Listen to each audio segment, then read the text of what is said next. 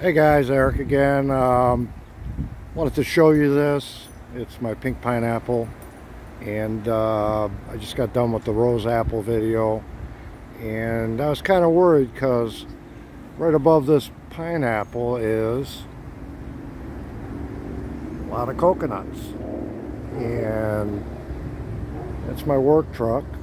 And last night I heard a big thump and one of those guys hit the truck. So I moved the truck over.